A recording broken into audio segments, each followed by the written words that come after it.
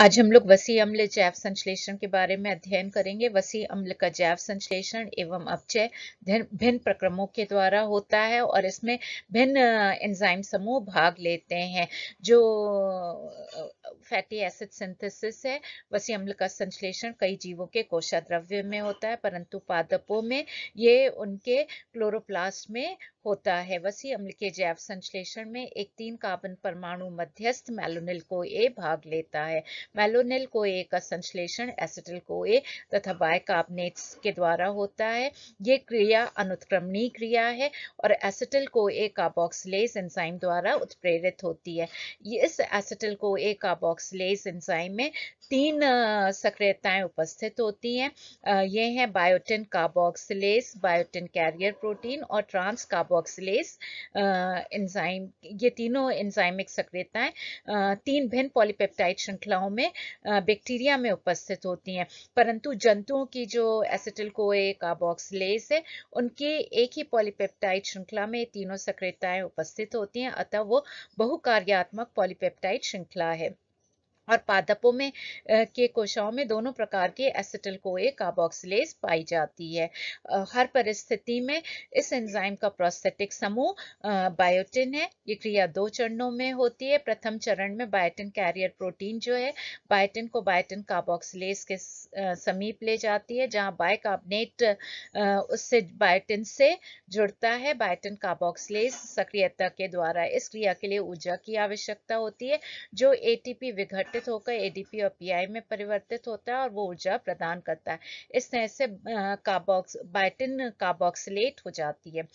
अगली चरण में ये biotin carrier protein carboxylated biotin को ट्रांस कार्बोक्सिलेज के पास निकट लाती है, जहाँ ट्रांस कार्बोक्सिलेज का ये कार्बन कार्बोक्सिल समूह को एसिटिल को ए पे स्थानांतरित कर देती है, जिससे मेलोनिल को ए निर्मित होता है और एंजाइम पुनः अपने आरंभिक स्वरूप में वापस आ जाती है। तो इस तरह से मेलोनिल को ए निर्मित होता है। वसी अम्ल संश्लेषण की सारी क्रियाएँ एक मल्टी एंजाइम कॉम्प्लेक्स जिसे फैटी एसिड सिंथेस कॉम्प्लेक्स कहते हैं, उसके द्वारा उत्प्रेरित होती है।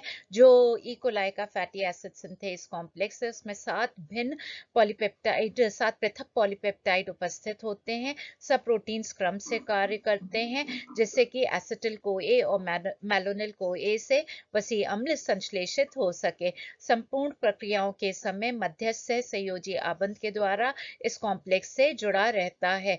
इस कॉम्प्लेक्स में दो थायोल समूह उपस्थित होते हैं, उनमें से किसी एक से मध्यस्थ जुड़ा होता है। जुड़ने के जो बिंदु हैं, वो beta keto acyl ACP synthase का सिस्टाइन अवशिष्ट का एस समूह है, तथा दूसरा बिंदु एसल कैरियर कैरियर प्रोटीन का एस समूह होता है। प्रत्येक एंजाइम संकुल में इस तरह उपस्थित होती है कि उसकी सक्रियता उसका सक्रिय स्थल अपने से पहले तथा बाद वाली एंजाइम के निकट हो। इसी का एसएच आम जो है, वो मध्यस्थ को हर इंसान तक ले जाता है।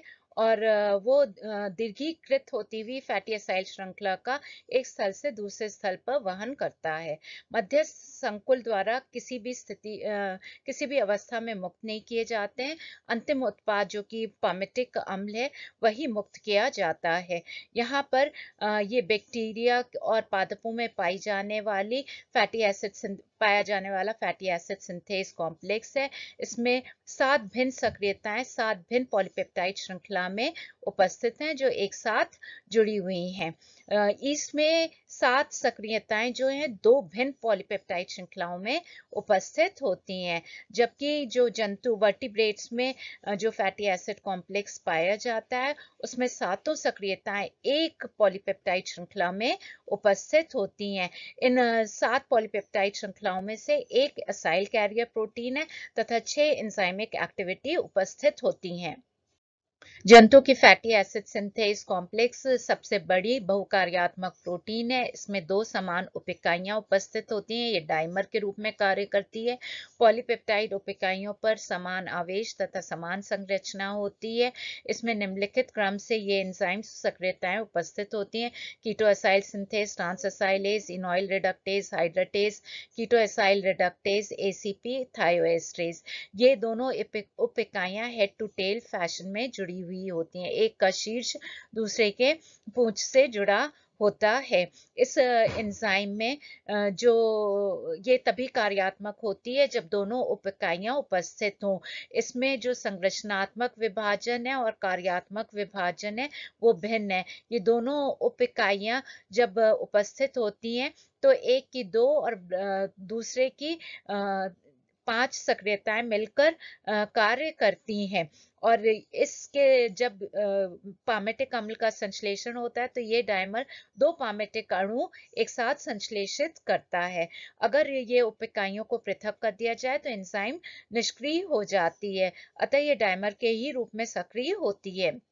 पामिटिक एसिड के संश्लेषण के लिए एसिटिल कोए तथा एडीपी एटीपी तथा एनएडीपीएच ऊर्जा स्रोत के रूप में इनकी आवश्यकता होती है। जंतुओं में पामिटिक अम्ल का संश्लेषण डिनोवोसिंथेसिस यकृत एडिपोसाइट्स रीनल कॉर्टेक्स मस्तिष्क इत्यादि में होती है। वसी अम्ल का संश्लेषण पुनरावृत होने वाले चक्रों द्वारा होता है। संतृप्त एसिल समूह जो प्रथम चक्र द्वारा निर्मित होता है, वो दूसरे अगले दूसरे चक्र के लिए क्रियाधार हो जाता है और वो एसिल समूह और मैलोनिल समूह मिलकर अगले चक्र के क्रियाधार होते हैं। सर्वप्रथम एंजाइम के दोनों क्रियाधार को एंजाइम प्रथम दो क्रियाओं द्वारा एंजाइम पर लोड किया जाता है। तो एसिटिल को ए के एसिटिल समूह को एसिटिल को ए एसीपी ट्रांससाइलेज एंजाइम की सहायता से एंजाइम के एस एसीपी समूह पर लोड किया जाता है। और फिर वहाँ से एसिटिल समूह स्थानांतरित होता है beta ketoacyl ACP synthase enzyme के सिस्टाइन अवशिष्ट पर तो वो सिस्टाइन के एस से जुड़ जाता है एसिटिल समूह। दूसरी प्राइमिंग क्रिया में मैलोनिल को ए को एंजाइम के एसीपी समूह पे स्थानांतरित करते हैं, जो एंजाइम इस क्रिया को प्रेरित करती है, वो मैलोनिल को ए एसीपी ट्रांससाइलेज है। इन दोनों क्रियाओं के द्वारा दोनों क्रियाधार एंजाइम पर लोड हो जाते हैं। अगली क्रिया संगनन क्रिया है। इसमें सर्वप्रथम मैलोनिल एसीपी का डीकार्बोक्सिलीकरण होता है और जो कार्बेनायन बनता है, वह एसिटिल समूह एसिटिल जो बीटा कीटोसाइल सिंथेज एंजाइम पे उपस्थित है, उससे संघनन करता है और एसिटो एसिटाइल एसीपी बनाता है। ये क्रिया beta ketoacyl ACP synthase enzyme द्वारा उत्प्रेरित होती है एसिटिल समूह का स्थानांतरण एंजाइम के सिस्टाइन एसिड से मैलोनिल समूह पर होता है और ये कार्बन कार्बोक्सिलेट ग्रुप जो मैलोनिल एक के निर्माण के समय जुड़ा था, वो पृथक हो जाता है। दो एसिटिल समूह के संगठन की क्रिया अत्यधिक एंडोगोनिक होती है तो डी से जो ऊर्जा प्राप्त होती है, वो नया आबंध बनाने में के लिए ऊर्जा प्रदान करती है। इस प्रकार से एसिटो एसिटिल एसीपी निर्मित होता है फिर beta keto acyl ACP reductase के द्वारा इस कीटो समूह का जो तृतीय कार्बन परमाणु पर उपस्थित है, उसका अपचयन होता है। ये ये बीटा कार्बन एटम भी कहलाता है और तृतीय कार्बन परमाणु भी कहलाता है। तो एसिटो एसिटल एसीपी का अपचयन beta keto acyl ACP reductase के द्वारा होता है। प्लस एच प्लस अफकारक तुल्यांक का दाता है और इस क्रिया के पश्चात D beta hydro hydroxy butyryl ACP निर्मित होता है। अगली क्रिया में D beta hydroxy butyryl ACP का निर्जलीकरण होता है। एक जल का अणु निकल जाता है। ये कार्बन परमाणु दो एवं तीन से जल का अणु निकलता है। इस कारण से द्विआबंध निर्मित होता है। तो जो ये क्रिया beta hydroxy acyl ACP dehydrase या डिहाइड्रेटेस द्वारा उत्प्रेरित होती है। इस क्रिया का उत्पाद alpha beta trans butenoyl ACP भी है। इस इस क्रिया के पश्चात फिर से अपचयन की क्रिया होती है जो इनऑयल एसीपी रिडक्टेज द्वारा उत्प्रेरित होती है। एनएडीपीएच प्लस एच प्लस अफकारक तुल्यांक का दाता है। वो एनएडीपी पर प्लस में परिवर्तित हो जाता है। और इस प्रकार से एक संतृप्त असाइल समूह, जिसे ब्यूटायरल एसीपी कहते हैं, वह निर्मित होता है। इसके पश्चात ब्यूटायरल एसीपी समूह पुनः स्थानांतरित हो जाता है सिस्टाइन के एसएच समूह पर और फिर से एसीपी एसीपी पर मैलोनिल समूह आता है और फिर ये क्रिया पुनः टू से चरण दो से छ तक पुनः दोहराए जाते हैं छह बार, जिससे कि पामिटोइल एसीपी निर्मित होता है।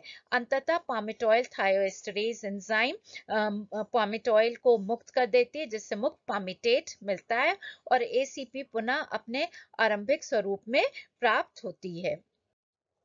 तो फैटी एसिड सिंथेज की क्रियाएँ पुनः दोहराई जाती हैं जब तक कि पामिटेट निर्मित ना हो जाए। प्रथम चक्र के पश्चात ब्यूटाइरल समूह का स्थानांतरण एसीपी के एसिड समूह से beta keto acyl ACP synthase के सिस्टाइन एसएच पर होता है, जिससे नए चक्र का प्रारंभ होता है। तो ब्यूटाइरल के पश्चात छह और पूर्ण प्रथम चक्र से अगर आरंभ करें तो इस तरह के संघनन और उपचयन के सात चक्रों द्वारा पामिटोइल एसीपी निर्मित होता है। सिंथेज संकुल इस बिंदु पर रुक जाता है, जहाँ पर पामिटेट मुक्त होता है।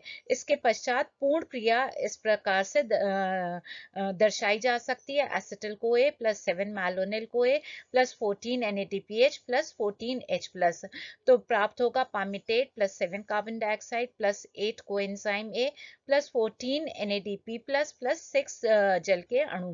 पर, परंतु मैलोनिल को ए जो है, वो एसिटल ए से ही निर्मित होता है और वही कार्बन डाइऑक्साइड निकल जाता है। अतः इसे इस प्रकार से भी दर्शा सकते हैं। Eight acetyl A plus seven ATP plus fourteen N plus fourteen H plus तो प्राप्त होगा palmitate plus eight coenzyme A plus seven ADP plus seven P I plus fourteen N plus plus six H two O